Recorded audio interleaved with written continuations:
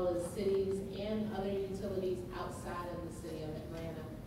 We have a workforce of just over fifteen hundred, uh, team members, and we have an average, an overall vacancy rate right now about twelve percent? 15, 12, 12%. And I- should have started by introducing my colleagues that are with me, our uh, CAO, who has led our workforce development efforts, and my Director of Policy and Intergovernmental Affairs. It's a moment of personal. Um, So we have a, a team of over fifteen hundred, um, a vacancy rate that's at twelve percent. We've been trying to get down to single digits, uh, which has been a significant challenge, and I'll, I'll say why. But as a utility, the city of Atlanta's Department of Watershed Management has what are among the highest rates in the country, largely due to unfunded federal mandates, which adds to the affordability challenges that we see in our city. Specifically, communities in the south and west parts of the city of Atlanta. And it's estimated that thirty percent of households fall below an income of twenty-five thousand a year. We have twenty-three point two percent of our households that are below the median household income.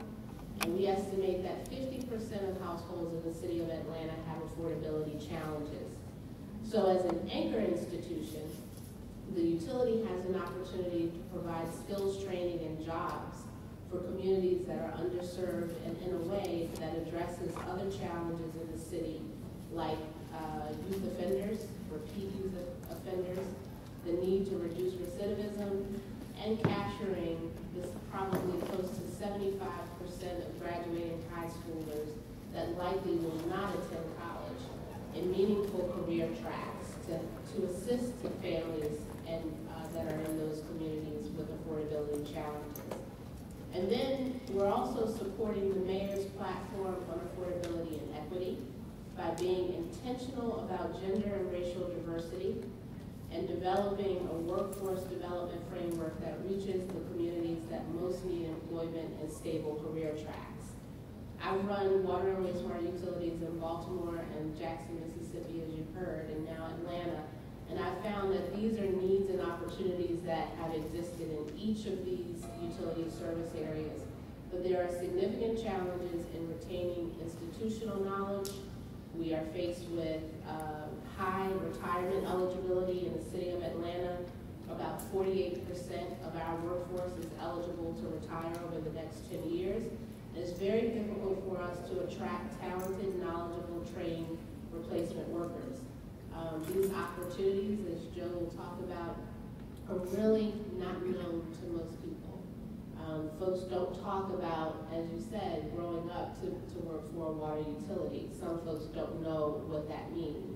Certainly when it comes to the other side of water, the clean water side, which is actually the wastewater side, um, folks are just not attracted and what has become particularly difficult for us is to attract and, and retain the attention of our millennials, which we have uh, put a lot of work into. And in fact, the CEO is headed to Denver tomorrow uh, for a conference on millennial workforce development. Um, so that's um, you know, kind of a little bit about the utility in the city of Atlanta and some of the challenges, and I'll delve deeper into what we're doing as we as we go on. Great. Um, Tony, if you can talk about your work in Louisville, and I know there's, uh, in regards to consent decrees and construction projects that need uh, to hire and retain workers, maybe you can talk a little bit about how that's impacting what's happening in Louisville. Sure. You know, for the last uh, 13 years, I've had the uh, honor of working uh, in Cincinnati and in Louisville both cities responsible for the implementation of major capital programs. Uh, the capital programs respectively, when you look at what we have to do to meet federal consent decree requirements and our normal asset management requirements, which is taking care of the system, uh, about a $4 billion effort in both cities over the next 20 years. And so to be in that role and in that responsibility, obviously, you get to see things from a different perspective, uh, particularly when a lot of the improvements that we're making in our cities are in the urban core uh, parts of our communities. uh, which is predominantly African American. And so we're disrupting African American communities. We're doing work in African American communities. But yet, when we look at contractor utilization, we're not utilizing folks from the African American community. So, from that perspective, you know, as a leader of utility in Cincinnati and leader of utility in Louisville, I had the opportunity to start having conversations with other cities, uh, particularly the city of Atlanta, the city of San Francisco, uh, city of Philadelphia, the city of Cleveland, a lot of cities. And we actually had a convening four years ago here in D.C. to talk about what, from a general manager perspective, we wanted to get out to the nation in terms of our message. Uh, so we had a convening, and it was really focused on, in partnership with uh, the U.S. Water Alliance, how do we get the message out about the value that we bring to our communities and the economic boom that we bring to our communities as it relates to job creation and as it relates to the utilization of contractors. So just to kind of give you a little bit of perspective uh, from Louisville, uh, we serve uh, Louisville and Jefferson County, and uh, our consent decree and our critical repair plan is a $4.2 billion program over the next 20 years. Uh, we have uh, an organization that has workforce, aging workforce. We have about 800 employees. Uh, approximately 30% of them are uh, either eligible to retire in the next five years. 12% uh, of them are eligible to retire this year. So from an organizational perspective, uh, we're trying to get the word out to the community about how we can uh, recruit, uh, whether it be from the college level or whether it be from the community, folks who would be interested in working for a public utility. Um, as far as the capital side, uh, we do have a local hire policy. For every project that we put out to the street that is over $5 million, uh, the contractor has to commit to the utilization of a certain percentage of uh, workers from uh, Louisville and Jefferson County. Um, so with that, uh, we we're making a lot of progress, but when we reach out, uh, we're finding that, you know, our contractors, their number one excuse is, well, we can't find uh, eligible uh, employees. So uh, two things that we're, we've been working on. One is um, we just completed a disparity study uh, to look at not only contractor utilization, but also uh, how we are using uh, minority-owned and women-owned companies within our community, and how do we grow those businesses.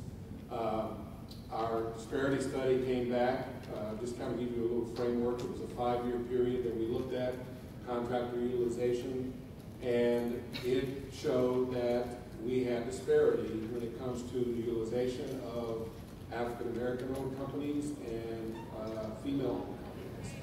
So with that, we now have, with the disparity study, now we have the opportunity to go forward from a legal perspective case we're challenged to have mandatory goals for uh, companies that are doing work for uh, utility.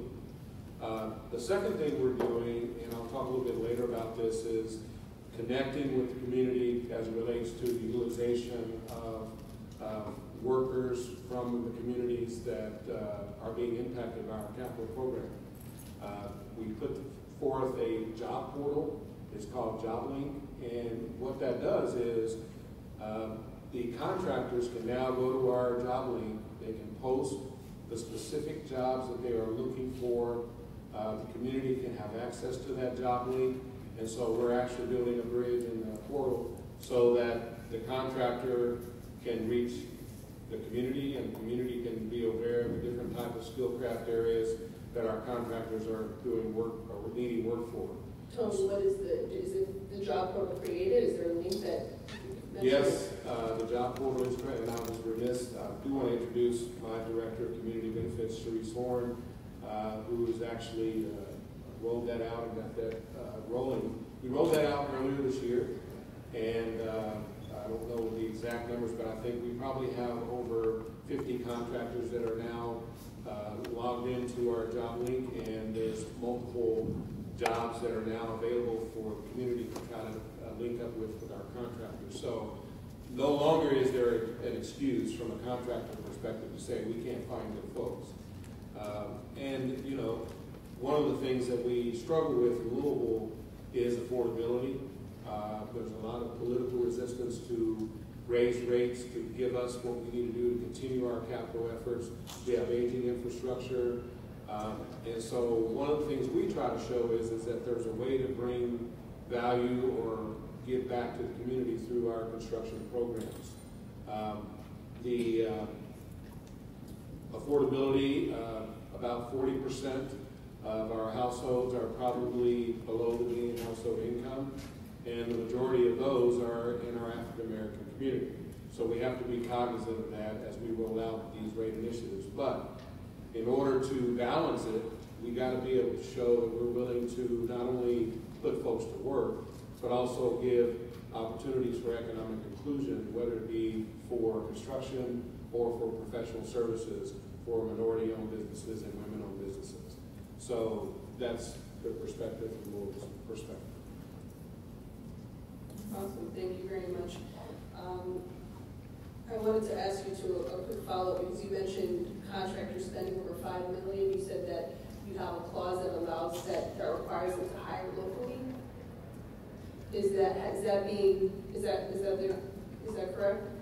This over five million dollar, uh, contractors who spend clause requires them to hire locally a certain percentage. Is that replicated in other areas, or is this, is this sort of Louisville's taking the lead on this? Are you collaborating with other? Actually, uh, what we did this year, uh, our original policy in Louisville was for every contract above ten million. Uh, so we actually lobbied our board to reduce that for every contract above five million.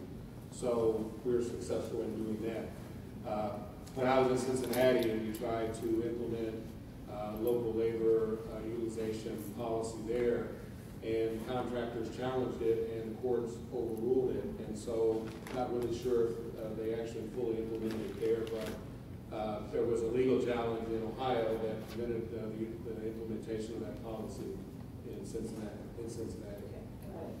All right, I'll come back to your, uh, with, with- questions, uh, on this end that I'm interested in. I know that, for instance, the sort of inform, it's interesting, this question you said about folks saying that, that our communities are invisible and not around, and they, you know, we can't hire them because they don't exist. That's, that's the same argument given in the tech space as well, and you find that literally and figuratively in the backyards of these places are communities that are, that can get there in, in sort of no time. So how, how does that, infor- how do you close that information gap? And uh, I think the portal is fantastic, and they're doing this in the energy space with API as well. So uh, I think all of these are happening at the, at the same time in terms of just kind of taking ownership and getting the model right for uh, reaching out to the community. So I, want to turn to, uh, to, to Joseph Kane um, on, on this report that he has. I know in San Francisco, Atlanta, and Louisville, and other utilities, the Water Agency Leaders Alliance helped commission this report. So if you could talk a little bit about your findings, and I know you have some slides to show, so I'll get out of your way. and You can talk to us about the work Brookings is doing in this capacity. Great. Um, Thanks, Don.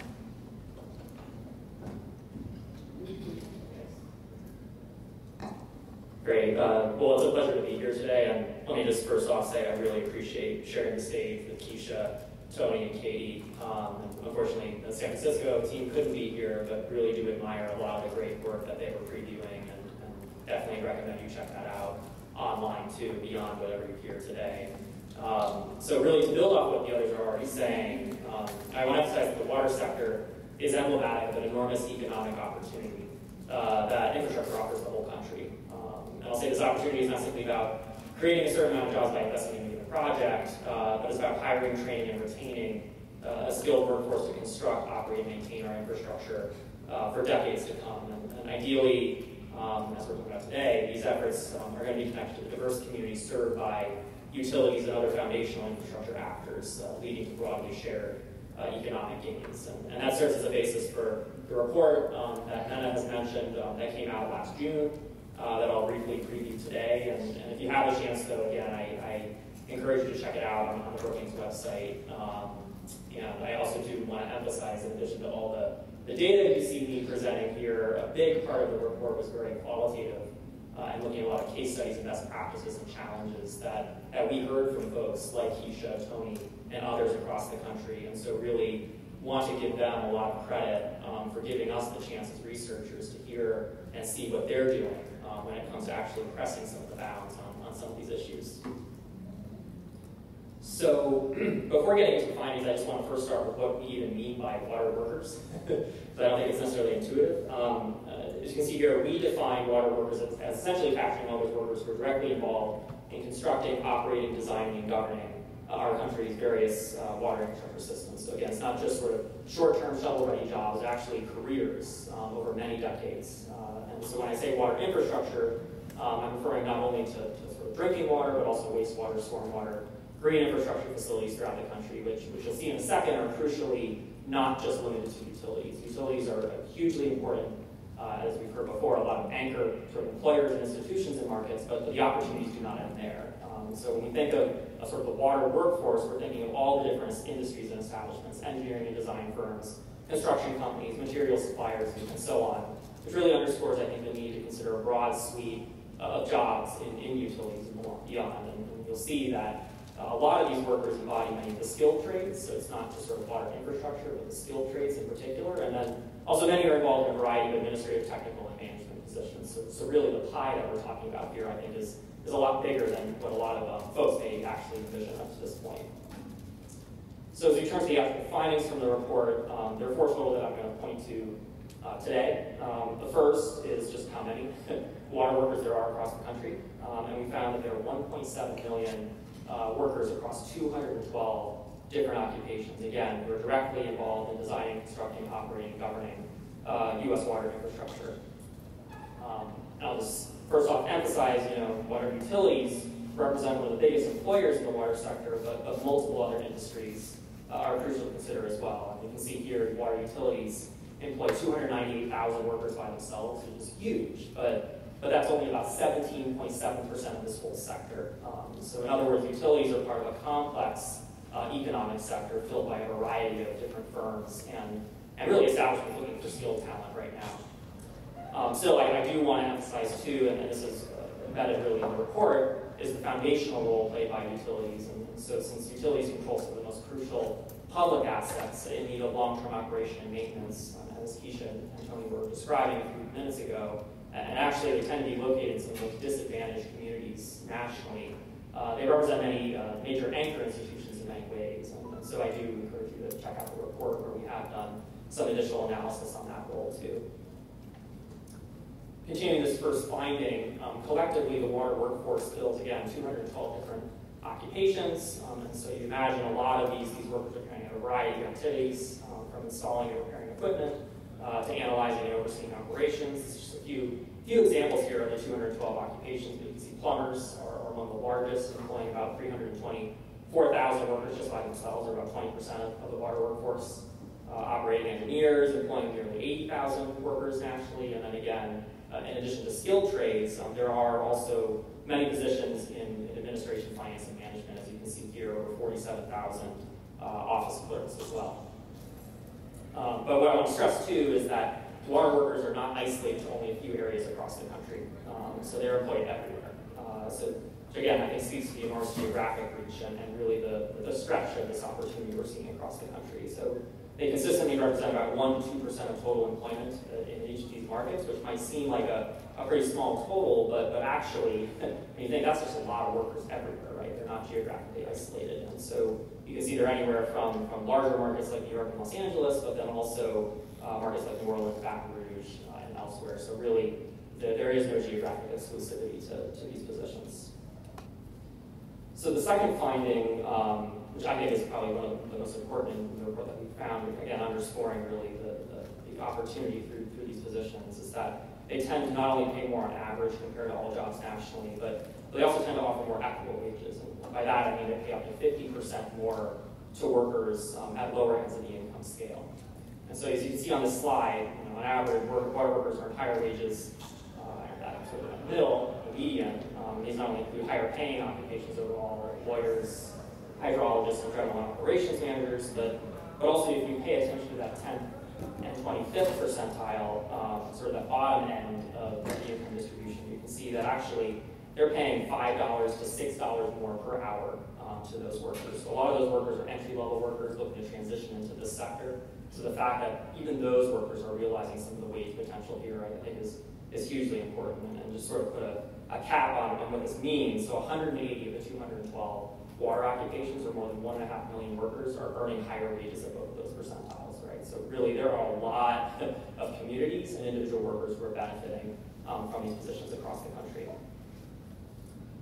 Now, with that said, you'd be like, well, okay, that's great, they make a lot of money starting out, but then they have to have more education, right? But actually, we find just the opposite, that um, many of these water workers tend to require less formal education um, while earning these competitive wages. And so, in fact, 53% uh, only have a high school diploma or less. Um, so you can see here, put another way, 32.5% uh, of workers across all occupations nationally fall into this category. Um, but you can see that, that water workers tend to actually have lower uh, formal educational barriers to entry. Uh, these include, again, any positions from carpenters welders to tank servicers uh, and so on. But I do want to stress, too, as much as um, you know, there are also many highly educated workers here as well. So only about 15% of the water workforce holds a bachelor's degree or higher, but, but you know, we can't before look, I think, landscape architects, environmental engineers, computer system managers, and so on, who are crucial to, to utility operations and other, other employers nationally. And what I want to stress, too, is beyond education, what's often um, really emphasizing these positions is related work experience and on-the-job training.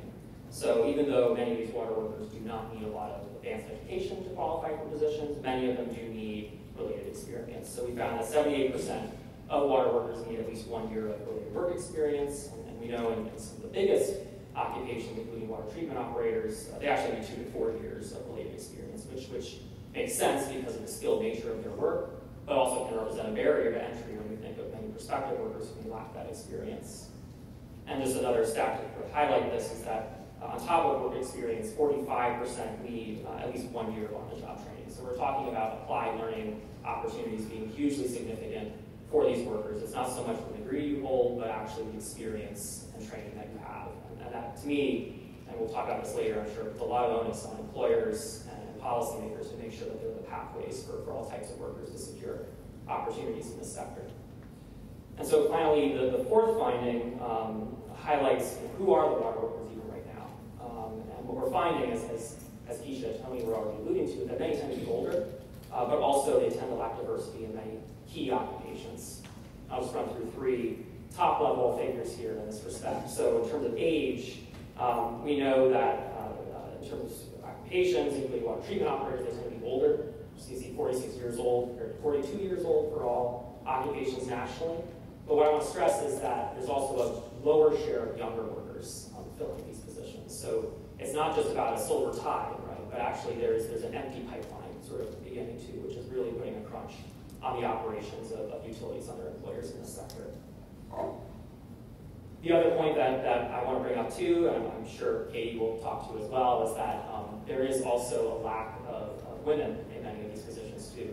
And to me, this is just a startling statistic when you think about it, that if you line up 100 people in a room, that only 15 of the 100 in the water sector are actually women. Uh, and then versus the whole country, we see 47, right? And so it's entirely surprising, right, when you think of skilled trades, sort of the, the physical requirements of some of these positions, but but still, I, I think, you know, just from a research standpoint, it was just somewhat startling to see this, this underrepresentation among women in many of these positions.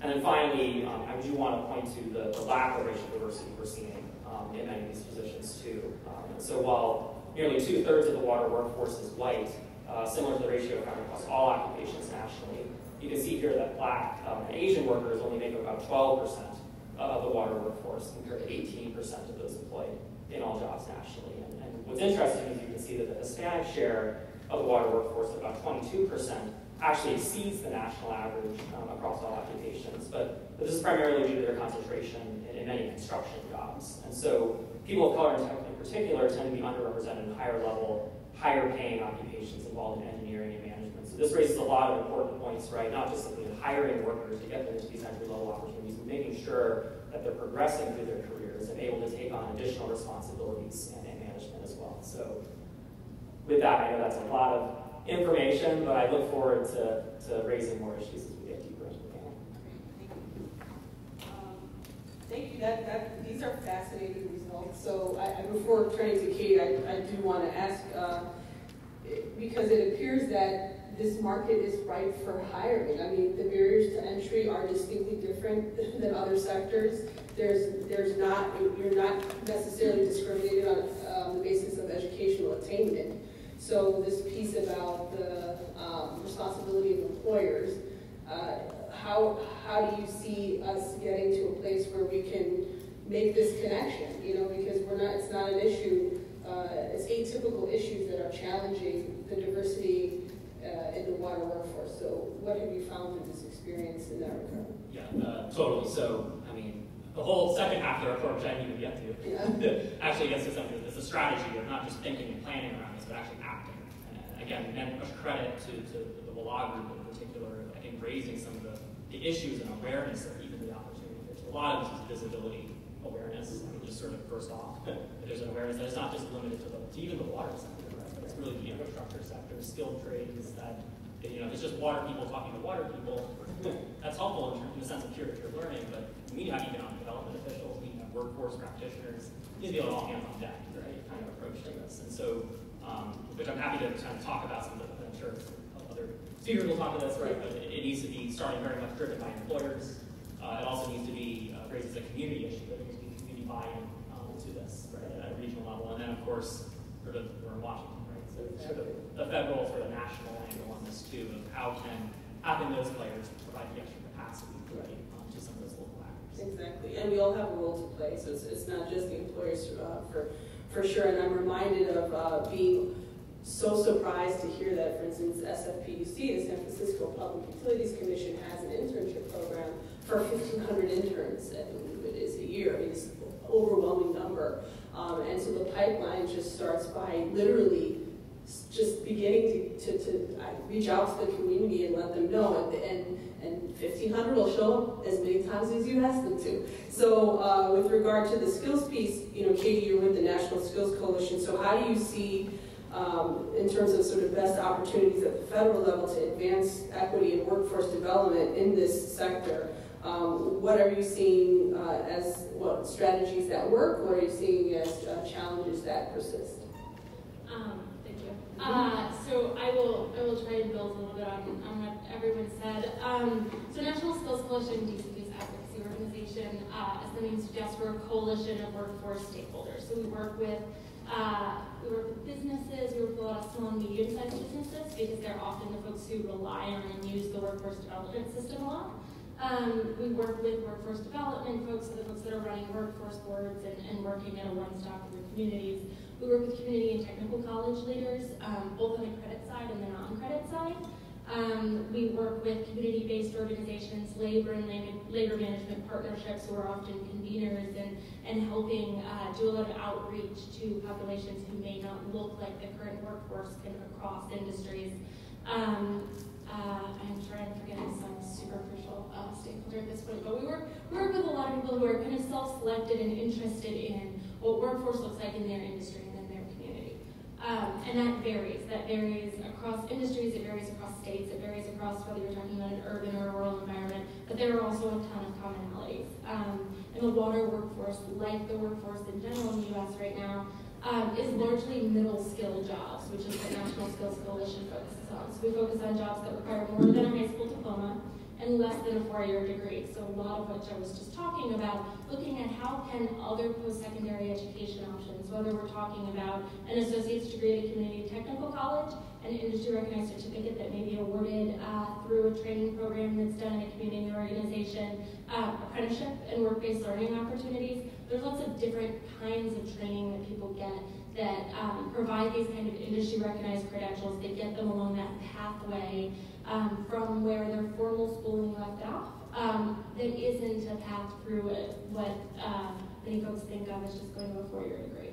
Um, and so those are kind of the, the, workforce where we see the biggest gap right now. So there, um, uh, nationally, there's about a 10% gap, which is larger than we see in higher low skill jobs between the number of workers trained for these middle skill jobs uh, and the, the number of openings. So this is really where employers are feeling this push most, most universally across the country is how are we getting people trained for these jobs? Um, and the, the water workforce is similar. Um, I think have already heard and will continue to hear as we keep talking a lot of uh, uh, focus on what San Francisco has been able to do. Um, and they commissioned a study that looked at what are the jobs that folks are looking for that you know supported uh, a lot of what of what Joe just described. But really looking at how are these skilled trade jobs, how are jobs like electricians and machinists um, and technicians to work some of those machines. How are we training people and getting the workforce prepared for that for that job? Um, uh, and so that's that's kind of where the, the workforce is generally. And there's a lot of kind of best practices we see happening at a national level. So um, I will focus on some of the broadly and then can uh, dive into some of the policy pieces as that makes more sense. Um, but one of the things that we focus on are, uh, are how our partnerships at the local level coming together. So both Keisha and Tony talked about the work that they're doing. I mean, I think it's absolutely incredible that you all are leading on the job portal work, that that's something that um, as an employer you were creating and taking the onus on because for a lot of uh, businesses and industry partners, either for small employers that's not something they have the capacity to create, or if they were only posting a few jobs a year, it would be worth people using. Um, and that's where working together with the workforce development system, with community colleges, and creating these partnerships at the local level to make sure that everyone is talking a similar language, sharing resources, figuring out what is the amount of schooling that needs to happen at a community college and where can business come in and do that on the job training. Um, creating those kind of partnerships at the local level is so crucial to really expanding and building that um, that, that pipeline of workers with access to these jobs. Um, another strategy that we see happening across industries is how are we supporting career pathways and how are we supporting, and this is um, one of the things that, that I we heard in both Joe and something that you brought up as well, is not just how are people entering these jobs, but how are we making sure that participants, particularly women and people of color who don't look like a traditional workforce, are we making sure that they can stay in these jobs? Um, how can federal policies help support it? How can federal investment help support the kind of things that we know help and improve retention, whether that's creating and supporting mentoring groups, whether that's childcare, transportation. Um, uh, even if your employer is in your backyard, the training provider you may be using may not be. So how are we making sure that people who are in their profession can get to the technical college and back to the employer they're doing on-the-job training? And if we're talking about that kind of environment, then they certainly have not just the nine to five or the, uh, depending on what shift they are, child care concerns, but they've also got the additional child care concerns. If they're in a night class, um, I know my daughter's child care isn't going to be available for that seven to nine o'clock class. So how are people accessing those services and how are federal investments making sure that that's possible for a different set of uh, workers. Um, and then finally, on that investment in general, um, how are we using what, uh, what, we, what we're hearing from employers and matching where our federal investments are going? Um, the Workforce Innovation and Opportunity Act was passed in 2014 with overwhelming bipartisan support. It had numbers in it of what bipartisan levels of uh, members of Congress said, we should invest this much in the bill, and we haven't seen that level invested since it's been Instead, over the past two decades, we've seen a 40% decrease in the amount of funding that's gone to support uh, WIOA and its predecessor, WIA. Um, and so we, we hear a lot from the administration, um, from both administrations and the previous and this, and we hear a lot from Congress about the importance of jobs, and we've had employers sitting here saying this is what we need to get people in these jobs. Um, and so we have to see consistent funding. Although I will say a bright spot is that just today, uh, for the first time in more than 20 years, Congress seems to be uh, poised to pass the funding bill that would fund our workforce and education programs on time. Um, not all the funding bills in Congress will happen on time, but um, that's one of the benefits of going into midterms this time. Uh, members want to see funding happen. Um, so, uh, and so really focusing on, how are we investing in the workforce system, in career technical education. There's just uh, recently a, um, a new uh, bill that, or the bill that funds our career technical education from federal funding was just reauthorized.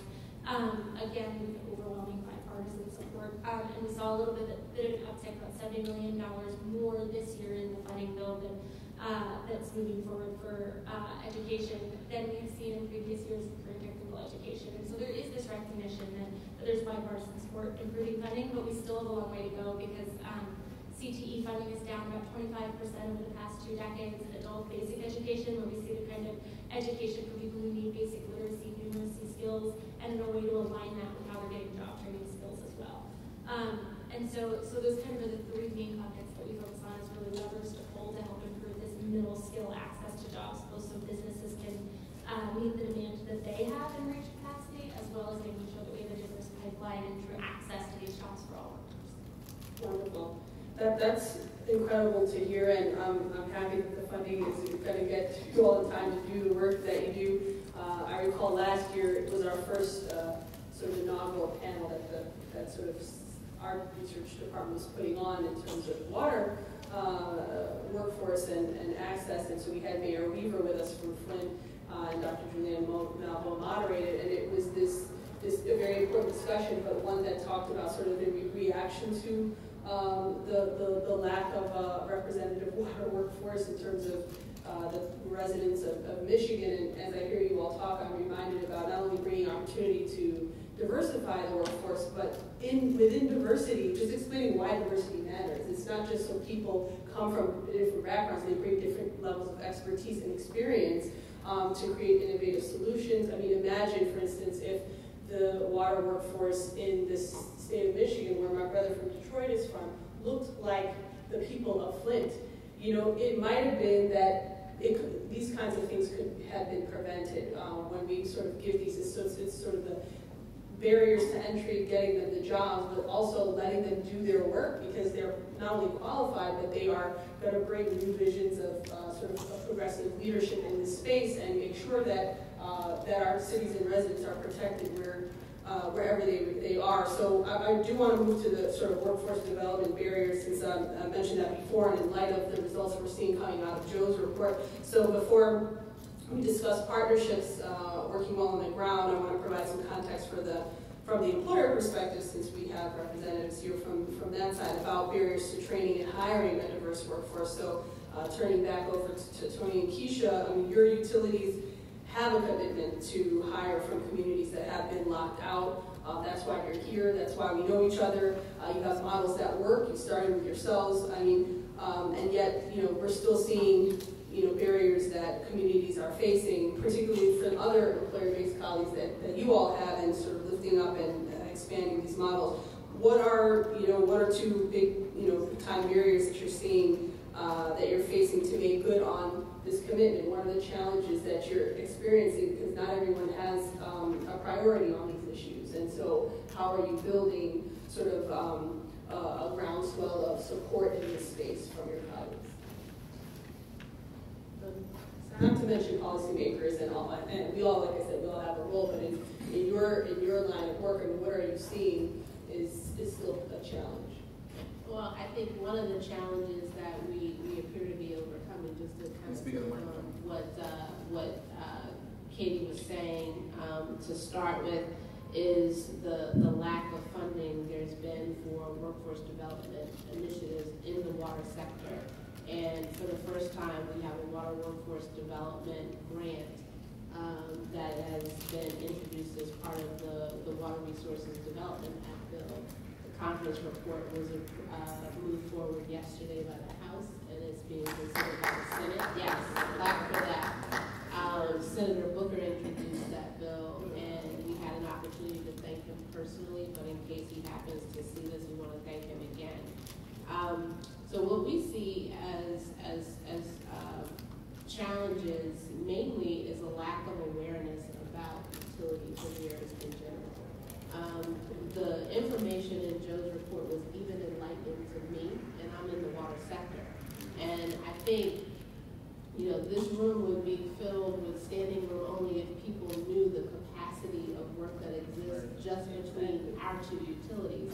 When you run a utility that has a one point two six billion dollar five-year capital improvement program, six hundred and ten million dollar annual operating budget, and we are employing fifteen hundred people in one utility service area, multiply that times the four hundred and ten other large utilities that exist in the United States, and then the twenty-five thousand some odd utilities that exist across the country. Um, there is a lot of opportunity, and we always hear about the need for infrastructure investment in the surface transportation sector. We, we hear very little about what is needed except for the funding gap that exists in the water sector. And we, we had a report done by U.S. Water Alliance um, in the last, uh, two years ago.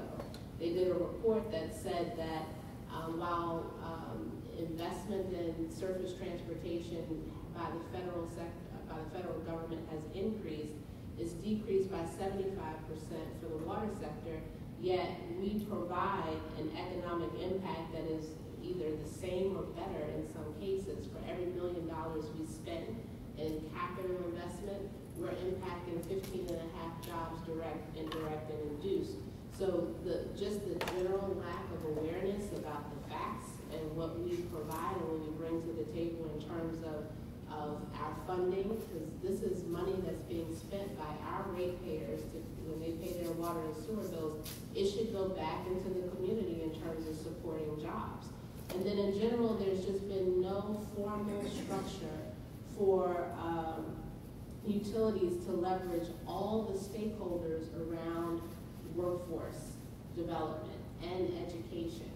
Um, that's why we're putting together a workforce development structure in, in Atlanta and then modeling our K through 12 program after San Francisco PUC's Big Ideas curricu- curriculum where they work with the San Francisco school system um, to infuse that curriculum into the master curriculum and then work with the state to tie it to state science standards. So essentially, you have utilities, utility by utility, with the exception of the 20 uh, utilities and the Water Agency Leaders Alliance that have been working one by one to tackle these challenges themselves.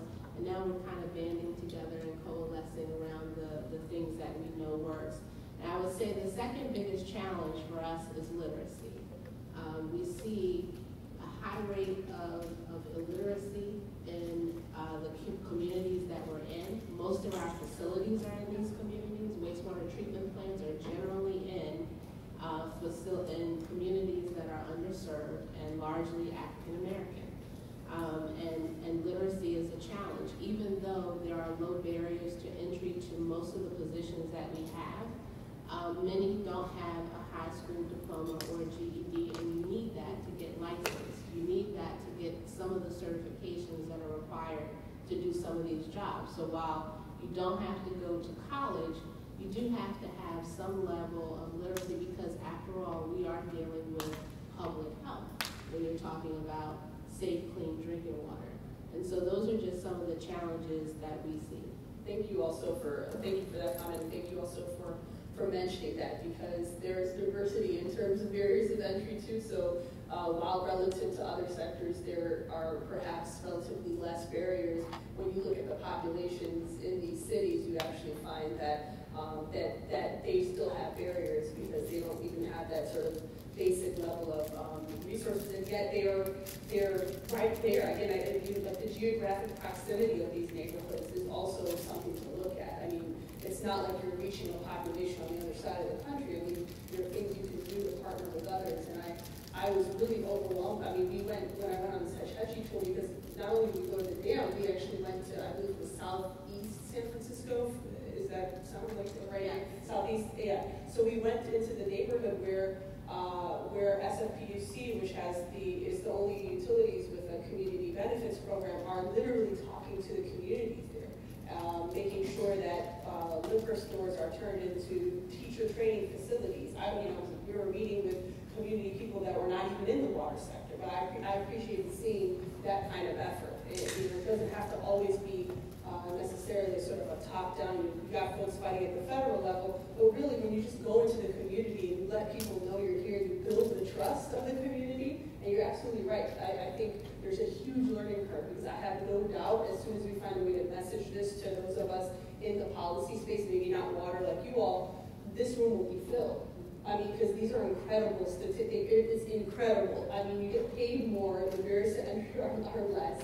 The jobs are there because the aging workforce is retiring, the baby boomers are heading out, and, and so it's, it, you know, it's just about, uh, getting the word out, and you're right, the communities will, will definitely come. I, I do want to give Tony a chance to respond to, to, uh, the same question around sort of challenges that you might be experiencing or your efforts to try to get more support on this.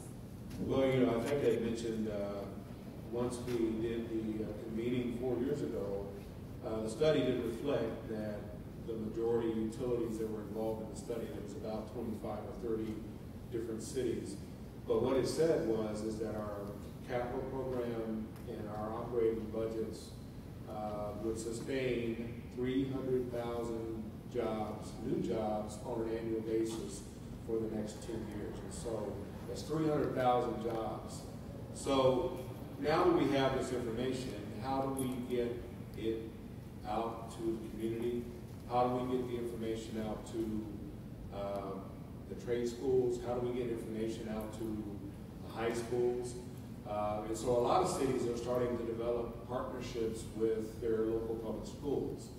Uh, one of the challenges we have is that a lot of the public schools are kind of partitioned now into different programs, uh, particularly in Louisville, uh, if you want to pursue a, a, future in acting or a future in something else. And so you've got to identify what schools within your community are for uh, skilled workforce or for uh, STEM programs or those type of schools. excuse me. Then develop partnerships so that you know the internships or in our case we also have started a summer uh, program where we bring in students uh, to embed them inside our utility for an eight-week period so they can be mentored. They can also get a feel for what it's like to work for a utility and what type of career paths exist in the utility. So that's one way that we're trying to overcome the barrier. Um, I think the other uh, barrier we have is, you know, we talk about affordability and, and those type of things, but there's also a lack of compassion. From our leaders, there's a lack of compassion and caring about how do we address the issue of recidivism? Uh, how do we address the issue of dealing with effective reentry programs? Uh, how do we deal with the unemployment rate, uh, particularly in our urban core communities? Uh, I know in Milwaukee and Buffalo and, and Louisville, we're actually a part of a national uh, coalition and Atlanta uh, putting together what we call a water equity roadmap and what types of programs and partnerships we need to develop to make sure that we're addressing the issue of reentry and, and addressing the issue of, of, of, of inclusion from the African American uh, standpoint. Uh, those water equity roadmaps uh, are a series of meetings that are being happening uh, regionally across the country. I think I think the next one is in Atlanta. Uh, but you have you know over a dozen cities that are coming together and having discussions about how are we going to specifically address this issue of making sure that we put people to work. And so those partnerships are really broader than just the water utility itself. We got to have transportation uh, at the table. We have to have uh, discussions with workforce agencies that are already active in our cities and our states and tapping into the funds that they are getting from the federal government. We also have to have uh, partnerships with uh, our veteran community uh, there's a lot of folks that are coming back from uh, armed services and, and, others that can be integrated back into our cities and our, and our programs. And so through the uh, U.S. Water Alliance and the Water Equity Roadmap Program, we're very active in that. Um, and I think the, the final thing I'll just add, and it's kind of going back to the uh, uh, issue of local hire uh, working with uh, the Urban League uh, and other communities that already have these contractor training programs or other programs that are already ready to be tapped, making sure that you're developing those partnerships and not reinventing the wheel, and uh, really coming together collaboratively and building a strong coalition with uh, uh, the NAACP, the Urban League, your local transportation authorities and uh, any state workforce authorities that may be active in your, in your, in your city. So those are some of the things that we're doing. Great. Um, and also, I love that you, you were talking about this uh, sort of notion of outreach to the different populations, and particularly those in reentry. Um, at the foundation, we were working with the NEKC Foundation's Juvenile uh, Detention alternative initiatives since 2005. And um, actually, we were doing work initially around um, eh, uh, workforce development with regard to environmental sustainability. So, uh, no bias to Michigan, I'm from Ohio, but this example has to do with the, the Detroit Workers for Environmental Justice. And they got funding from DOL, and uh, we came to find out through working with Annie Casey that um, they were actually targeting long-term unemployed folks in the Detroit area. And so not only did they provide them training with job procurement later, but it came with um, them understanding at a very practical level the need to reach these populations. So what I mean by that is they would subsidize travel for these long-term unemployed people from their home to their office to get the training at a very elementary level. I mean, you can have the great a great training program, but these folks have been unemployed for a while, so getting a bus ride or getting a ride, period, uh, from where they live to take advantage of these, I mean, you have to think through all of those elements. And so, um, you know, even even as sort of hear you speak, Tony, I'm also thinking about, I mean, we've be working with the Anti-Recidivism Coalition in, um, in LA, uh, run by Scott Budnick, and it's run by former youth um, who were incarcerated. And it's, it's run by those same young people. And I mean, there's an intersection there because those folks are also uh, more likely to have less educational attainment, but need a pipeline to work. And so there, maybe you all are already working in this space, but that's certainly an area that, that I see a huge, you know, uh, connection. So I, I'm happy that you mentioned that. Um, I, before we turn to questions, and we will, I, I do want to have, I have one last question for, for the panel um, about scale and sort of lifting up these models that are actually working um, in terms of uh, people that are being trained for actual jobs and what it is that we should actually focus on uh, when you think about what has been working well. So if you all can discuss an example um, of a successful partnership, and I know you just mentioned some, Tony, as well, uh, to address uh, workforce needs in the water sector. I know in uh, with SFPUC, Baywork is a regional consortium of uh, 28 San Francisco Bay Area wa water and waste water utilities that are collaborating to build career pipelines in the water utility sector. Um, and you know, Tony, you mentioned the job portal. You know, so what do these successful models of partnership look like? Um, if, if I want to leave that with the panel before we go to questions.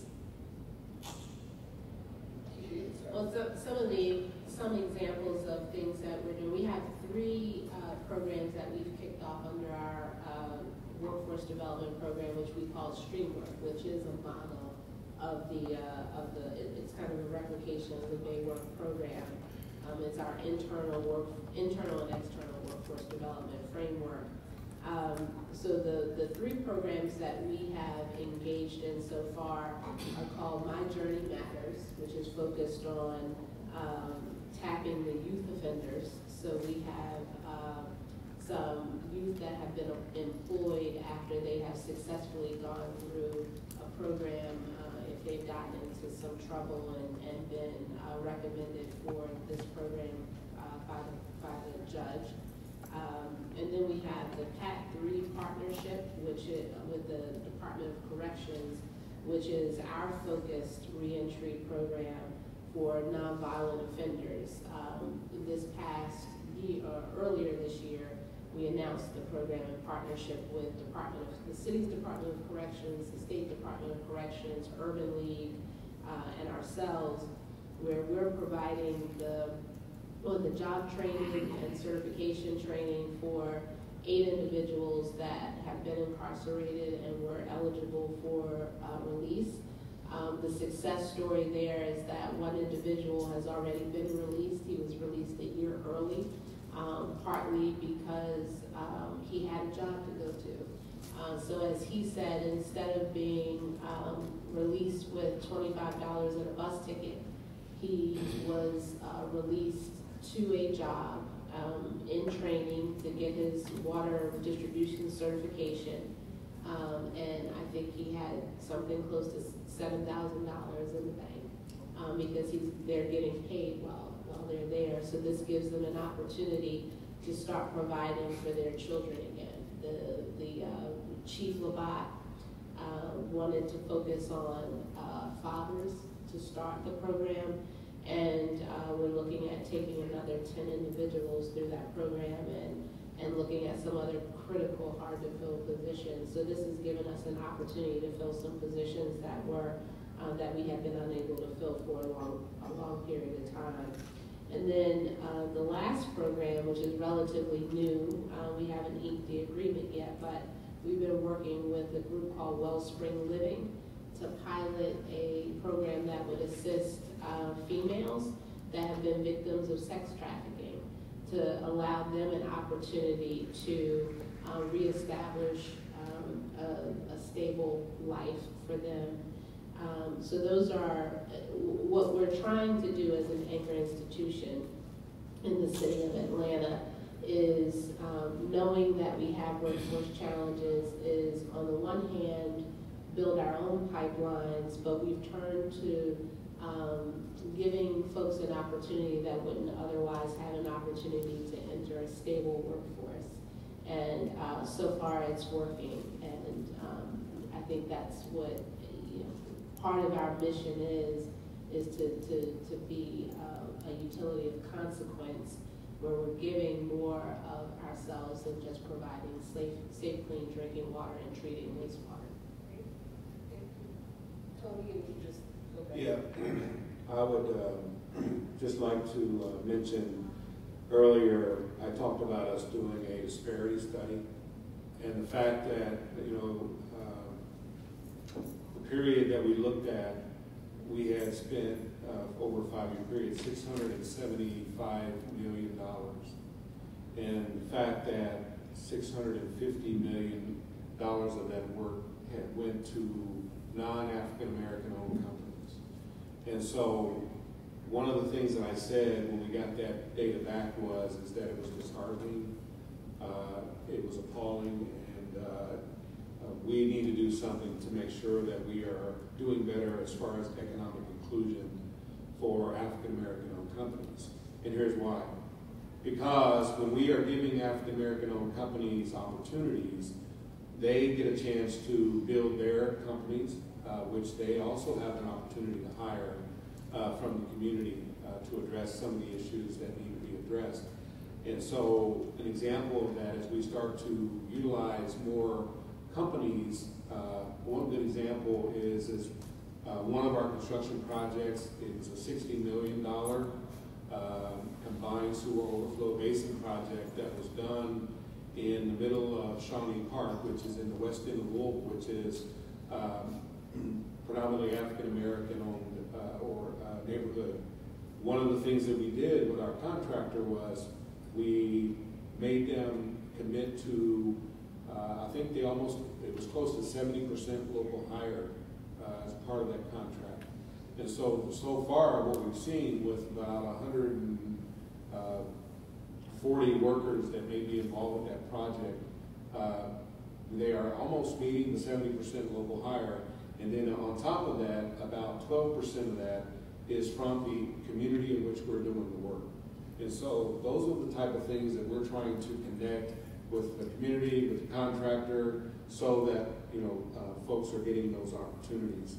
Uh, the other thing that we're doing is looking at more of what we call project labor agreements with the uh, labor uh, or labor unions that are going to be uh, doing work as part of our, our, contractors and making sure that even though, you know, like for example in Kentucky, it's not a right to work or it's not a, uh, prevailing wage state, you still got to have those partnerships with uh, the labor unions to make sure that you're pulling from not only uh, the local community, but also from the skill sets that you need. Uh, and so project labor agreements are going to be another big part of us going forward, make sure we have that partnership. And then finally, uh, reaching out more in the community, working with uh, organizations that are affiliated with our churches. Uh, we have programs that, one is called Jesus and a Job. Uh, you know, Jesus had a job. No, that's an amen right here. but, but those are the type of organizations that are affiliated with our, with our pastors and our churches, uh, and they're helping us get the word out for opportunities that we have with our utility, and uh, we're just so excited about that. Um, and then, as Keisha mentioned, the program that they are doing in Atlanta to address reentry is probably the model that every city needs to take a look at. Uh, I know that we've started to take a look at it. Uh, we've had meetings with not only our local uh, corrections uh, unit in Louisville, but also uh, getting ready to meet with the state corrections folks to see how we can kind of mirror a very similar program that they're doing in Atlanta. So uh, those are the things uh, I can share some examples um, from outside of the water sector and thinking about how that applies to the workforce more broadly. So, um, although I will start with one from the workforce, or from the water sector again. So, um, they work uh, in San Francisco. They used um, every state gets an allocation under the Workforce Innovation and Opportunity Act to support the workforce development at the state level. And uh, governors have flexibility. They have what's called a 15% set aside. So 15% of that money, governors are able to spend on innovative projects. Um, and uh, San Francisco tapped into part of that funding in order to do their analysis of what the water workforce can look like over uh, the, I think it was over a decade. Um, and so, so using that funding and tapping into where there is flexibility at the state level and the local level with the workforce system was really crucial um, to, to their ability to map out what do uh, the utilities in the area need? What are the community and technical colleges currently offering? How can we fill the gaps that? How can we recruit students and participants for those programs? Um, uh, so thinking about those connections with the workforce system, um, even if the one stop isn't necessarily uh, industry's first place for recruitment, it can be a really great partner. Um, and there also, even though it's underfunded, there can be some flexibility there. Um, uh, and it's intended in its latest iteration to be really industry driven. Another example I'll give of using that 15% set aside fund is Georgia. And I don't know if you um, have accessed any of this or worked with any of these partnerships, but the state of Georgia uh, created um, what they called the High Demand Career Initiative, um, where it started as a state level program where they mapped out what were the high demand careers in the state. Um, and what they quickly learned after doing their initial analysis was that even the state level is too broad, and so they really narrowed down to what's happening at the local level, how can we support those partnerships between local employers, local colleges, local chambers of commerce, all those different entities, obviously local employers, um, to make sure that where we're investing funding is really driven by where there is that local need. Um, one of their partnerships is in healthcare, and I think there's a lot of comparison that can happen between the stackable credentials, the career pathways, um, the kind of education entry requirements and on-the-job training that can it can really lead to uh, progression within the industry and healthcare and in the water workforce. Um, and uh, one of the ways that, that this healthcare partnership in Georgia has been able to expand the pipeline of workers who have access to jobs by tapping into a, a relatively flexible funding source under um, supplemental nutrition programs, under SNAP. There's an employment and training arm of that federal funding, that when local areas uh, match a certain amount of federal funding, they can get 50% of their costs for employment and training reimbursed from the federal government. Um, and so they're accessing some of the SNAP E&T funds to train workers for, for entry-level healthcare careers. So training folks who uh, are, are getting SNAP benefits um, so that they can get better jobs and get off of SNAP. Um, and, and not just creating that first entry-level job in the healthcare system, but they're also working with um, additional funding that's coming from the workforce system uh, to, to, to provide additional and stackable training. So that the training leads into once uh, folks get their uh, the entry level job and certificate, after six months on the job, they're eligible for their apprenticeship program. And apprenticeship right now is really hot from a bipartisan lens in, in DC and in many states. And um, but, but what often gets lost in that conversation is that apprenticeship has a lot of uh, entry requirements. And for, for folks who don't have high school diploma or don't have a ton of work experience, that's not the first step along the career pathway, and there's got to be training that happens first. And so that's what this partnership in, in uh, North Georgia has been able to access in that healthcare industry is not just how are we getting folks into a healthcare apprenticeship, but how are we getting folks to training one step before that so they can really access a pathway, and so that we're able to tap into more flexible and greater funding sources that we have at the federal and the state level, because we're using both resources available under SNAP E&T, tapping into what's possible under TANF and other safety net programs, and using those to structure a pathway that works for people who need the most skills gains. Um, and then one other piece I'll add to that um, is that in Mississippi, uh, there's a program called Mississippi Women in Construction that is accessing some of the, the state TANF funds um, funds that the state has from TANF, and, um, and are using those funds to support a year of child care for pre-apprenticeship participants. So when partic- participants go to this 12-week pre-apprenticeship program, they get paid child care while they're in the program, as well as for the program varies from 8 to 12 weeks, but they get it for an entire year. So even once they're in an apprenticeship program or another job after graduation of this program, they still have that funding to support their childcare, which like the um, like you were mentioning with bus tickets, when you've got someone who's long-term employed, the idea of going into a and getting their first or second or third paycheck, there's a lot of places that paycheck needs to go, and childcare can be a huge barrier for folks in the large costs. And so having this covered, even once they're getting that paycheck, has enabled them to to something like quadruple the number of women that they're serving in their program because they have the funding for these women to stay in the program and to stay in the jobs once they're there. Great, thank you.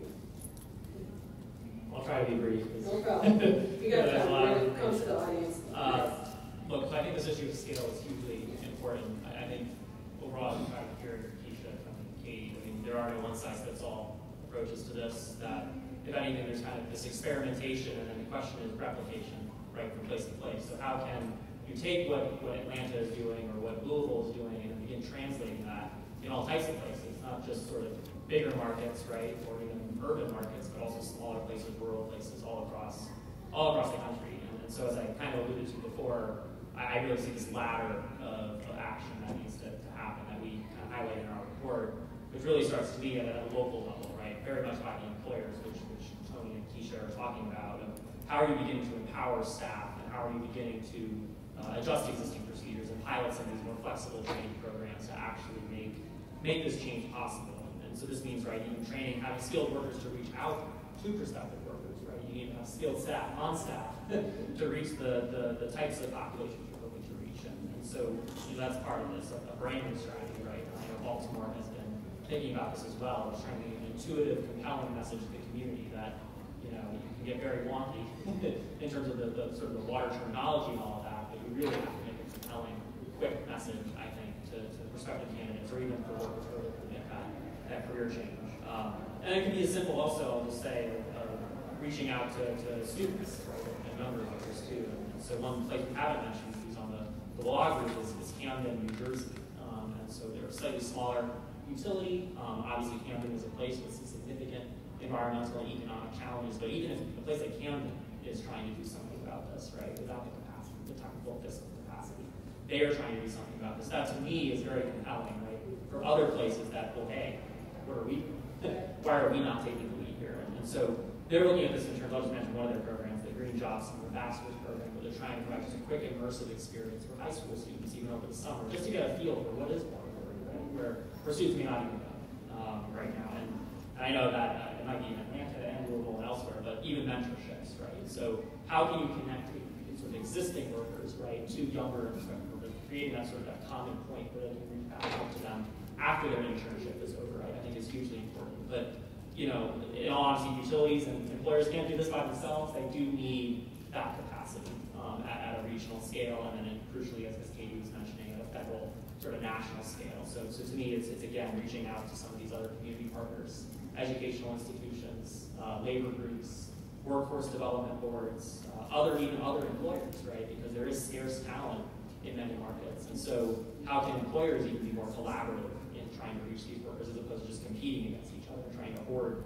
the talent just for themselves, which I think is just a natural inclination here. Um, so, and I'd say at a national level, you know, more funding wouldn't hurt, but but um, I think just having a greater awareness of what's out there, right? So, in as much as we're talking about today, you know, the fact that there's just a lack of a landing page, right, for best practices, or even just a guide or a template, right, that all places can follow to begin. So, where do I start, right?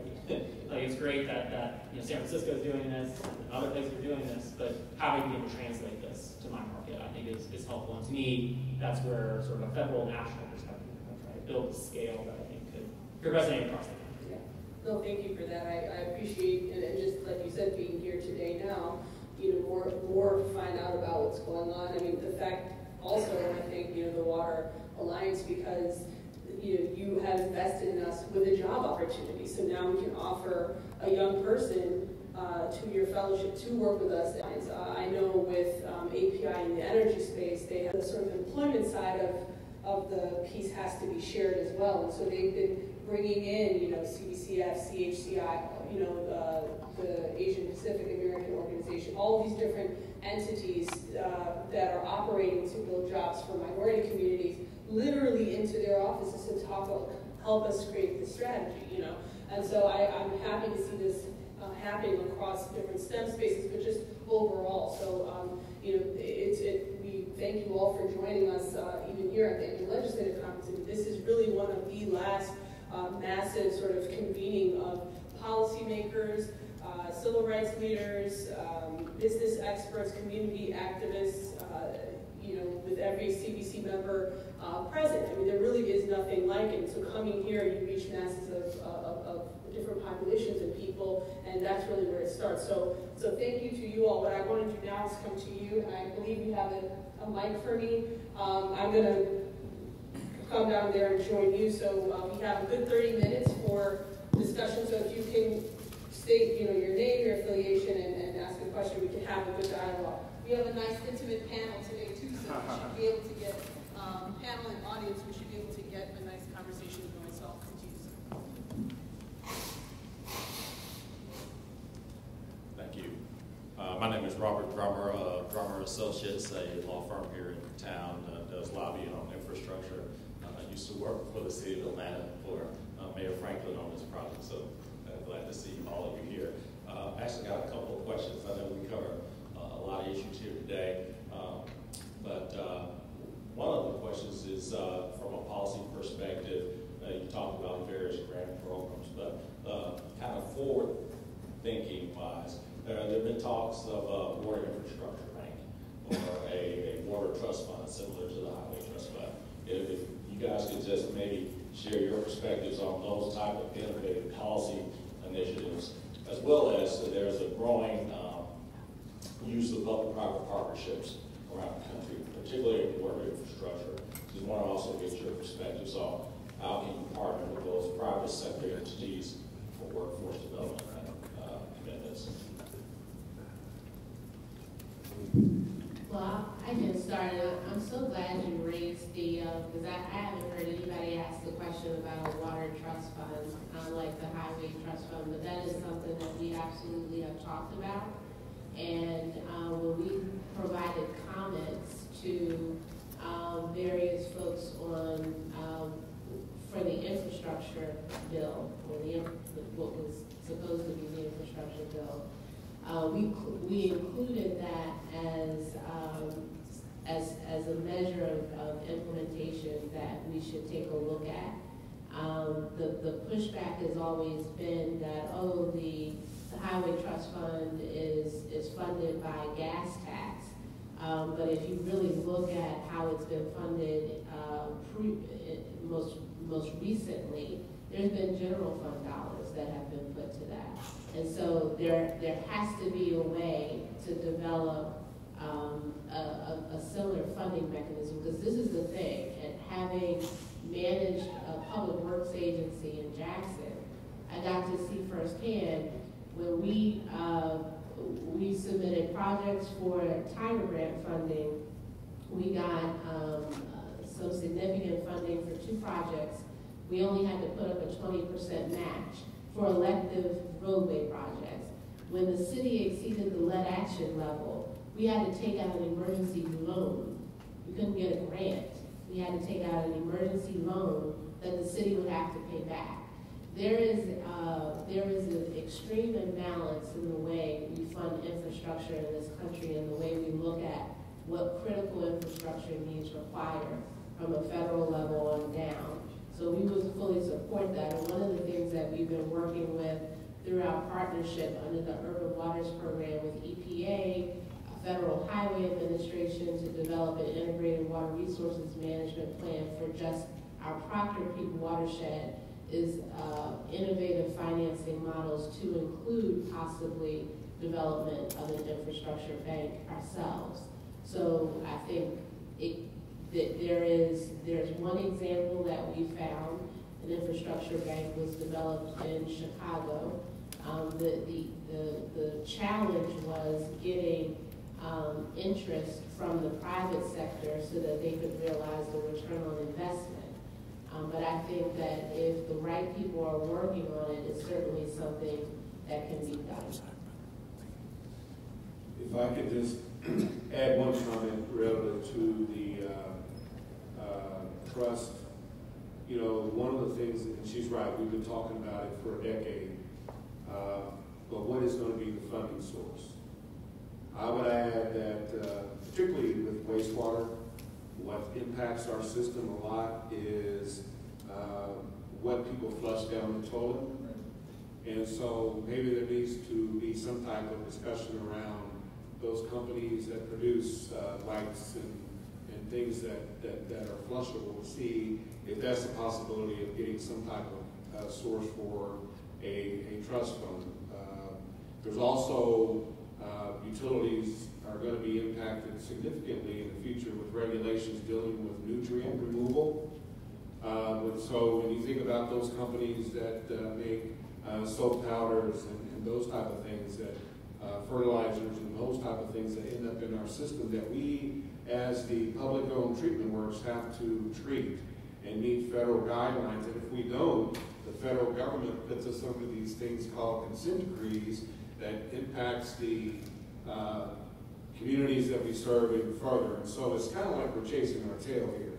Instead of going after POTWs, we need to be going after the sources that are impacting our cost and impacting the regulators uh, or the regulations that we have to comply with. Uh, secondly, as it relates to uh, funding, uh, I'm a part of the US EPA Environmental Financial Advisory Board, one of the projects uh, that we're looking at is how do we start to fund regionalization of utilities, uh, whether that's through a program called WIFIA, uh, and also uh, through other public-private partnerships.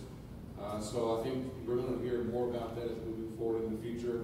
But as far as P3s, I think that uh, when you think about the utility of the future, we have to be receptive to public-private uh, partnerships, provided that those partnerships have the same interest that we as publicly owned utilities have. And that is making sure that we have local hires, making sure that we have economic inclusion. Uh, but I think there's some advantages of having uh, partnerships with uh, public-private entities. I just, I just quickly add just three points that one stat I like to cite is that 95% of public spending every year on water is at a state and local level. So if you think that the federal slice of that pie is only 5% at the moment, clearly there is room for additional federal infrastructure investment in water just across the board, right, regardless of sort of workforce. But I'd add also sort of this national sort of perspective. We need to have an economic vision, right? There doesn't need to be just sort of this sort of pay for question, I feel in Washington, you have to just jump to how are we going to pay for it? Where, what are we spending money on? Like, what is the strategy here? And so, you know, we have our transportation on one side, we have our energy on the other side, we have water here. So to me, what I, I think Tony mentioned this earlier, why are we not having transportation employers talking with water employers, talking with energy employers to make this an economic issue, a workforce issue, not just sort of an isolated infrastructure issue? Uh, and third, I would say, as it relates to sort of the P3 bid, um, it's still very nascent across the country. There are very few models you can point to on that. But um, in all of this, I would say the idea of pilots, right, rather than sort of a broader national, we are going to jump into the deep end and do all this at once, as much as we can be iterative and intentional, I think, about how we experiment and play with this. I think it, it makes more sense.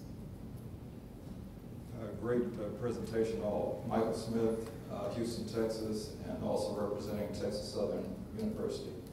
My question to you is on the on the upper scale of Joseph's uh, piece. I know entry level uh, job positions, target rich environment, but uh, in our uh, College of Science, Engineering, Technology, we just uh, three years ago we opened started a civil engineering program, and uh, this spring we'll have our first class of civil engineering graduates, and we've been working with the city of Houston to work working it now to get an MOU in place so that we can um, put our engineering students in internships and things of that nature.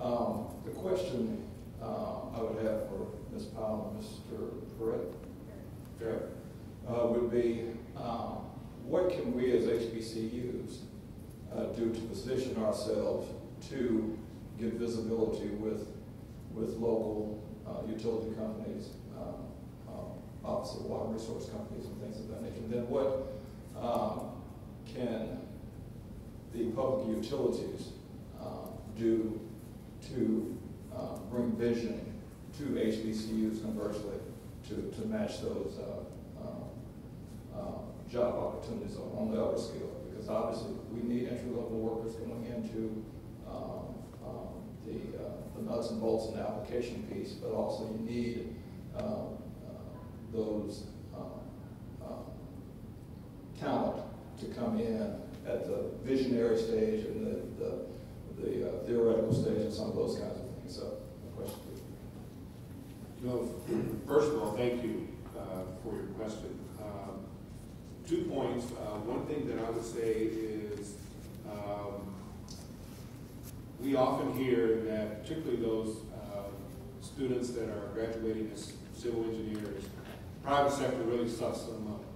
And so the public utilities, we have not made an concerted effort to actually get out there and, to your point, visit uh, historically black uh, colleges or being partners with uh, agencies such as NSBE um, to make sure that we are communicating to them so they know the type of opportunities that we have in this sector. So I think that what we need to do, obviously, we've already started reaching out to NSBE and making sure that we have a connection with them. Um, and we need to, and maybe you can assist us, is how do we make sure that we are connected with those uh, historically black colleges that really have the professional engineering programs. An example, uh, five years ago when I was in Cincinnati, we actually developed a partnership with Central State University uh, with uh, their program up there. They had a program in environmental science uh, program, so we actually brought in five interns from that program every summer so that they could be connected with the utility and also create that pipeline between Central State and the utility. So uh, I would say those type of partnerships are things that we need to be doing in the utility sector um, to raise awareness and open door and opportunities for those students that are pursuing a career path in the public sector. I, I would say, because I, I attended Morgan State University, and the last two years that I was in school, I was an intern with the city of Baltimore, Bureau of Water and Wastewater, which then I ended up going back to run. But um, the, the, the partnership that they had at the time was very loose. And there wasn't a structure in place to actually capture the students um, so I, while I was there as an intern, I didn't really think about um, continuing on as a full-time employee because there wasn't that focus. Um, and what I saw with our counterparts on the electrical engineering side, who had partnerships with Northrop Grumman and um, some of the other Raytheon and, and others in the, envir- in the electrical engineering space, was those companies had something to offer the universities in the way of funding and uh, promising a certain level of jobs, scholarships, uh, and that. So it was more attractive, and the partnership worked a little better in the electrical on the electrical engineering side. I think since then, our colleague Rudy Chow in Baltimore has developed um, a very firm uh, partnership with, uh, with the city of Baltimore to provide internship opportunities.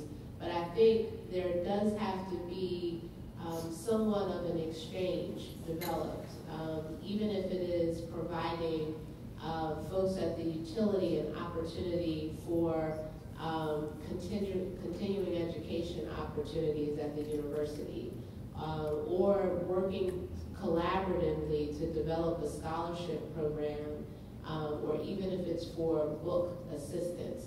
But there ha- the, the, the problem sometimes is the draw of students to, to be in these programs because civil engineering can, can it crosses so many different sectors. Um, and folks tend to those sectors that have the sexy opportunities. And it- as, as Tony said, um, especially in this day and age, we're, we're seeing the, the millennial effect. You know, you go a couple layers younger, um, and trying to capture their interest and figure out how to capitalize on those things they're interested in. We have to do a better job of that. Yeah. And I think it just takes working with the local utility to figure out what their workforce needs will be for the future and what your curriculum looks like and how those two things can be married so that you really create uh, an, an opportunity to capture their interest and educate them in areas that they'll actually use when they enter the job, the, the job market in, in the utilities. But there, there needs to be a little bit more meat on the bones than just giving internship opportunities. Thank you. Uh, did you want to say something? Just, I'll, I'll integrate it. Okay, um, just time, quick time check, fourteen minutes, and I'm glad we have a, a line now of questions, so if we could just keep it brief, and then towards the end, if we have to, to sort of take two or three at once, we'll do that, so. Good afternoon, great panel, appreciate you guys being here. I'm Taft Gaddy, President, CEO of Artesian Water Partners, and my uh, STEM nonprofit is, uh, STEAM H2O for Life. Um, Artesian Water Partners, we produce uh, water fil- filtration systems, uh, reverse osmosis, conditioners and softeners with, uh, and Mr. Waterman, he's a superhero that promotes clean, healthy water to children and their parents to combat childhood obesity, high blood pressure, diabetes, and uh, cholesterol. So I created this character to show parents the importance of helping their kids with clean, healthy water. But more importantly, I created a clean water initiative to show students how to make reverse osmosis water systems with my STEAM H2O for Life, which is a STEM project. First question is, how can I get uh, some funding from the STEAM H2O? Then secondly, what is the likelihood of municipalities understanding the infrastructure of how we can solve the water problem? I have solutions. I've been in the water since 1989. And the solution to solving our water problem is to make sure that we clean the water at the point of entry, where the water comes into our buildings, our schools, our homes. We clean the water there, and then we clean it at the point of, uh, point of use. It's a two-step process. That would alleviate all the problems to our water sources. Then also, with that, it would save on cleaning, uh, will save on the scale building up in the pipes and the boiler systems. It will save so much money, millions and billions of dollars will be saved by conditioning water prior to it touching utilities and other appliances in our buildings. What would be the likelihood of that being introduced uh, to a, a, a team of uh, uh, people that are considering making sure that we don't have the best water possible? How we all understand that we can not undo all the dangers to our water sources that have taken decades of ignorance and abuse to inflict. So me alone will safeguard the water we drink, of course, and the water we serve our families. I just want to know, how can we, or me, be a part of something like that, an ambassador to clean healthy water? That's what I do. I've been doing it a long time. It's time for a breakthrough. Is that a statement or a question? No, It's a question. No, I, uh, you know, I, I- obviously I commend you with what you're trying to do. Um, I would strongly encourage you to reach out to the Water Research Foundation if you have not. Uh, They're always interested in looking at partnerships and they have uh, funding and grant opportunities for companies uh, like yours that are working to, uh, you know, get more uh, treatment uh, technologies or even product in the areas where it is needed. As you know, as we, there's also an opportunity for maybe you to partner with uh, the Red Cross and other uh, entities that may be responding to uh, catastrophic storm events in areas like what we're experiencing today down in North Carolina, and South Carolina. Um, But I think what you're doing is, is, is great. Thank you. An incredible panel of experts, really refreshing for someone like myself, who is, I'm Ken Duncan, I'm a commissioner of the Metropolitan Water Reclamation District of Greater Chicago. And um, I'm in awe of the depth of talent, talent and knowledge. Our moderator, fantastic. Uh, just so FYI, um, we are one of, we're the largest, probably one of the most sophisticated systems in the world. Uh, we are looking for an executive director. We pay about $300,000. We have almost 2,000 employees and a $1.3 billion budget. So we'd love to talk with you after, afterwards uh, to put you in the network. Uh, keep up the great work of information. Thank you. That's great. Got job opportunities all around up in here. I love it. All right.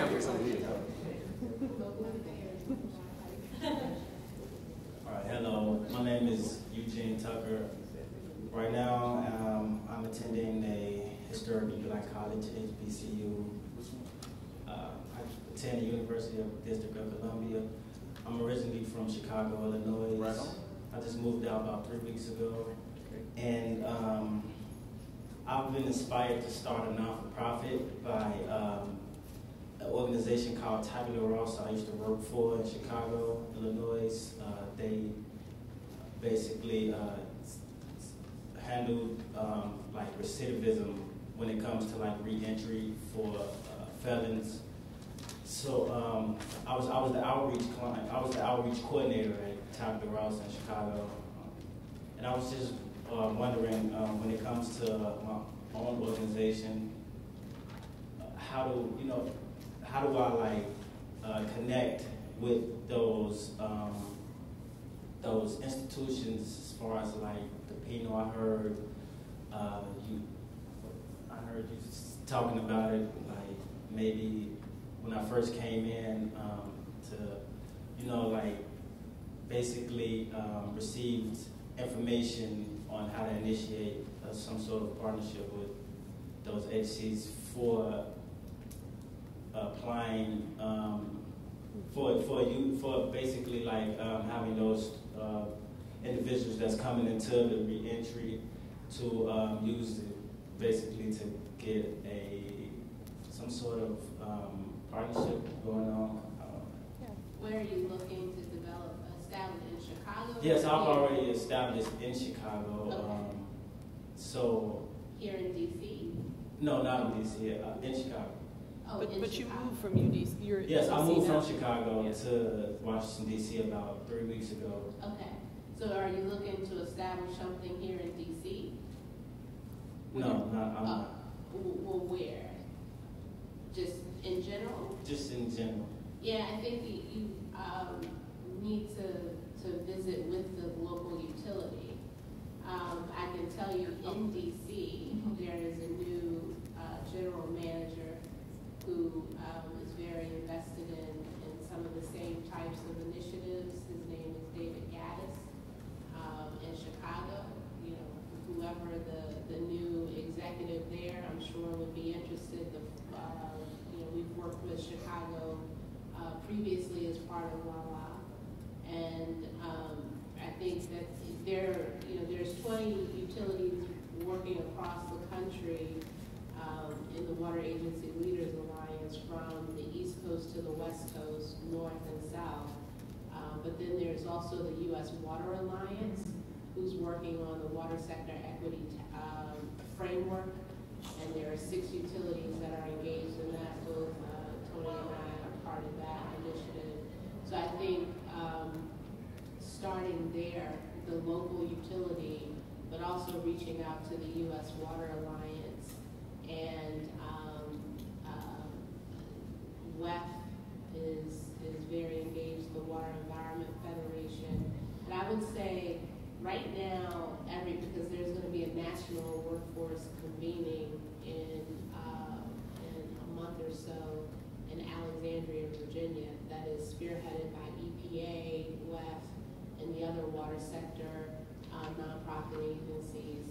Everybody in the sector is very focused on workforce development right now. So you'd be hard pressed to find, uh, a group in the water sector that is not trying to do something to further, um, uh, improve the, the workforce, um, development initiatives and challenges that we have right now.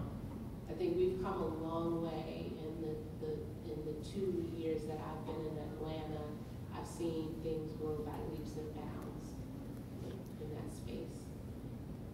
I would also urge you on the, the workforce side, so every, every local area, generally cities, but the, the District of Columbia has a, a workforce one-stop, a workforce workforce board.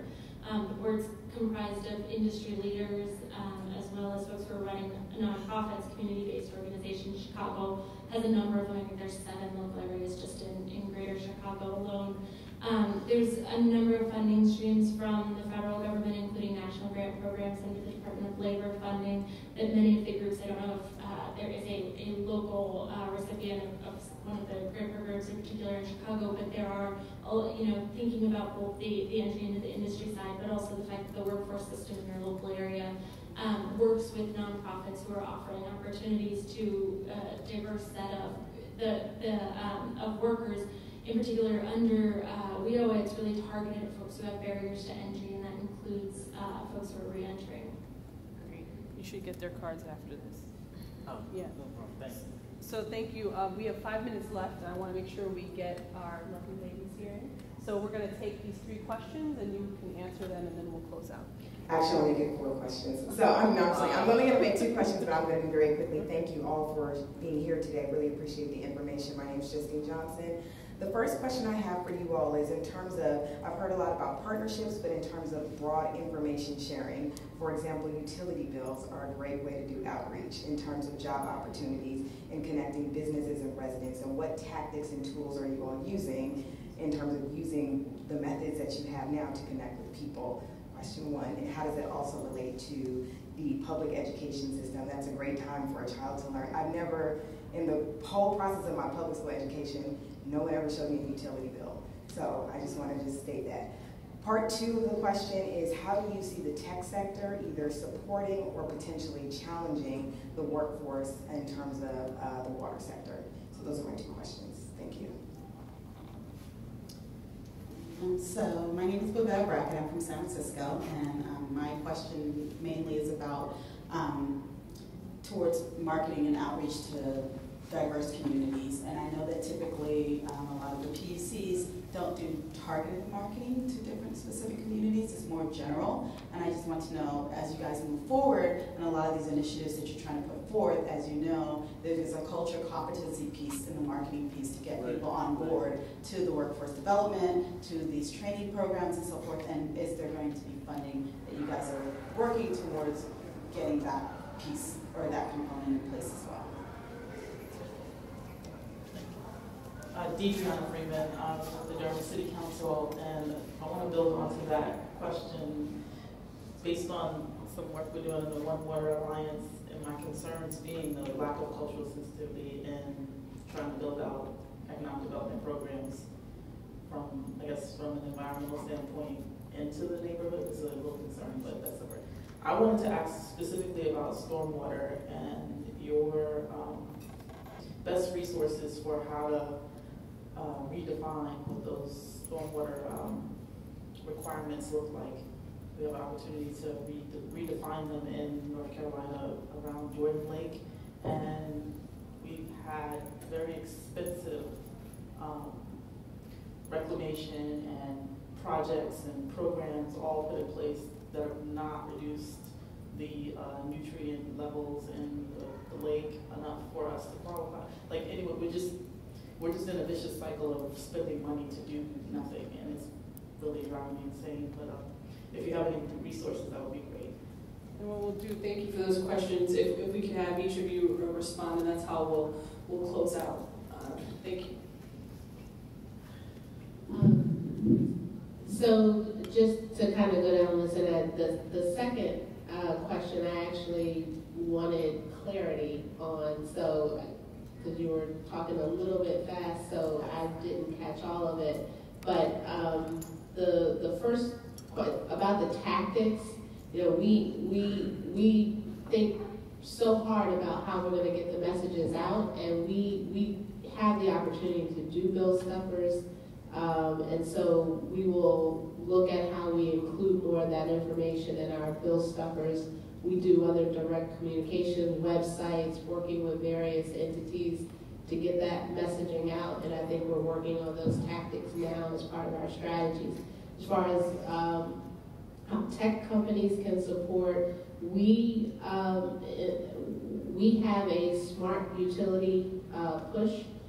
Digital transformation is one of our strategic priorities, so we're open to partnerships. We've developed uh, a framework, framework for that as well, where we're looking at um, kind of open sharing. We're open to folks coming in and telling us uh, how they could partner with us to, to innovate, to make our operations more effective and more efficient. Uh, to the gentleman that was asking about his technology earlier and how he could get funding, I would say more and more utilities like DC Water are looking to develop partnerships with folks that are developing technologies because there could be a potential for uh, sharing, information sharing, and us providing funding to develop technology that will help with our treatment processes or making our operations more efficient. Uh, the stormwater piece, I would say, um, you know, stormwater is a challenge across the board for everybody. Um, what we're doing in Atlanta is utilizing more green infrastructure. What we're finding is, uh, and, and those solutions are, are helping. We're scaling those things up and it's helping to drive economic development. What communities are concerned about is displacement as a result of the work that we're doing. Um, and so we, we did some um, some special things in the city of Atlanta, working with our economic development folks and Invest Atlanta and other private philanthropic groups to make sure that they put some measures in place that would um, curb the, dis the uh, displacement by paying property taxes, the, the increase in property taxes, that offset for a certain period of time and also helping folks to invest in their in their homes and their properties to uh, make improvements. Uh, so I think there's a number of things that can be done. There's no quick answers to those questions. The one thing I would say is I agree that uh, there's more that we can do, uh, particularly as we get more into electronic billing uh, and notices out to our customers to raise awareness. Uh, we are taking set concerted effort to get into the school system uh, at a younger age. In Louisville, we've developed a river-to-river education program.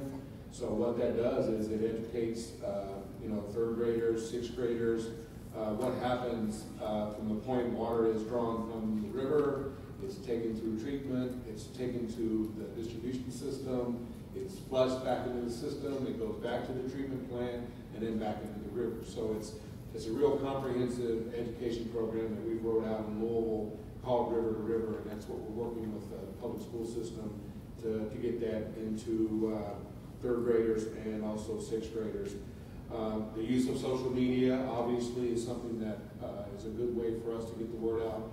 Um, and now with our job link program, we're really promoting that a lot over social media. Uh, so there's a lot of opportunities there. Uh, as far as uh, technology, uh, there is a group called the Technology Advisory Group. It's called the TAG Group. And quarterly, uh, the TAG Group does, particularly in the Midwest, in the Ohio River Basin and the Mississippi River Basin, uh, they host these uh, meetings with utilities uh, where uh, startups and technology groups can come and present their technologies or their uh, artificial intelligence sensors, whatever to the utilities so that we can vet them and see if this is something that we as an industry want to pursue or help fund to bring to market. Um, and then the question about the stormwater, the one thing I would add obviously is, um, as I said earlier, regulators like to go after those folks that have the publicly owned treatment works or the permits uh, where I think we need to be focused on what I call source control, going to the sources of those things that are causing uh, us to not meet our stormwater permits. Um, and then EPA is also pushing something called integrated watershed planning, where with combined sewer overflows and with stormwater and also with other things that are impacting our communities from a regulatory perspective, we should be working together to figure out what are the priorities for our community and for the watershed, and really work with EPA to see which one is most important. We can't do it all. We cannot do stormwater, drinking water, wastewater on the backs of local ratepayers. So what are the priorities for uh, the regulators, and then how do we do that in an integrated uh, approach? Uh, I'll start with some of the uh, tie the two questions about outreach together. Um, you know, both Kishia and Tony focused on how they're working with, with schools and with technical colleges to help uh, bring students into the workplace. And, and that's something that, that you both say as, as a, a second nature, but I think for a lot of industry and for a lot of employers, that's that's a hard thing to do. It's, it takes your time. It takes your time away from running a utility. It takes your time, and that that the amount of energy and effort that goes into those partnerships shouldn't be underestimated. Um, and and the the work that you all are doing is is important in helping to expand that. And uh, I, I, mentioned earlier that there's a new career and technical education bill that just passed, and for the first time that um, that, that bill included allowing states to direct money, states and local areas that are using that funds to direct money towards how are they making it easier for industry to work with schools in that way, both for, for kids and for the, the community and technical college level. And so I think being involved um, in the planning process that goes into where workforce and education funding is spent is really time consuming, it's difficult to do, but we're seeing an evolution in federal policy and gearing towards how are we making those, those partnerships easier. Um, uh, on the infrastructure side, specifically, Kishia mentioned the, the bill that um, uh, Booker and Senator Capito introduced that um, that would support uh, the water workforce and, and grants there. And one of the things that that could be used for, and I will mention another bill on infrastructure more broadly called the Builds Act. Um, and the Builds Act would focus uh, similarly on how are we supporting partnerships between uh, industry, uh, training providers, other stakeholders in the industry. Um, and also, how are we actually spending money to make sure that that cultural competency is happening? So how are we creating the kind of outreach and marketing? How are we bringing in groups that represent communities of color and reach out to communities of color? How are we making sure, and so for my gender equity uh, organization, one of the things we used to say is, if you've got a white man on a flyer, it's really difficult for someone who doesn't look like that to identify their role in that industry. That's what's already in their head. Um, and that's something that at the local level, there's groups in almost every community doing and helping to create that kind of material, but it takes intentionality and it takes more effort and outreach to bring those groups into conversations that are happening. And that's something that um, that we're that we're seeing being embedded now, more support for that kind of activity, that partnership, that outreach um, in some some federal bills, and that's um, you know something that is recognized the importance of it. Yeah. I'll be really brief it's hard to be last. Uh, so to really echo what, what everyone else has said, I would just emphasize too, beyond what utilities are doing, remember that pie of utilities being one of many employers here, that all types of employers need to be engaged in these sort of tactics, right? Utilities have a lot on their shoulders at the moment. They're already, Kishia doing some amazing work. San Francisco is doing amazing work. It's not today, but but I would encourage that there are very various employers, various educators, other groups that need to be doing these sort of tactical um, uh, decisions. Um, in terms of the sort of tech sector, one thing that wasn't mentioned earlier, but I think it's important to, to sort of emphasize is sort of the, the succession planning, sort of the continued career growth for workers in this space. And, and so I know at a federal level, there's even at the local levels, utilities, they're looking at competency models and trying to look at the changing competency, sort of the changing sort of moving target that workers have to fill uh, over time in terms of actually the newer technologies they're seeing in their jobs. Uh, and the stormwater bit, I'll, I'll just say that as I, as I think about this, it's, it's, not simply sort of the environmental sort of regulatory side of every infrastructure makes sense, but actually there's a good economic, financial case for it too. If you make these types of improvements over time, you're going to save money rather than going to FEMA and having to have a huge bill. So trying to make that case, I think, at a local level that, hey, if we do this now, we're going to save money in the long term, that's also very small. And thank you so much. I mean, this is a once in a generation opportunity right now because of the time and the moment we're in where we have this uh, sort of the baby boomers leaving and new folks coming in. So I hope that you all have learned something today and can also network with each other. Um, thank you for joining us. It's critical that we have a workforce that can build uh, and operate on our infrastructure. So uh, with that being said, I hope you all realize how much of a catalyst the water sector is and can be for water uh, creation. Let's give our, our single panel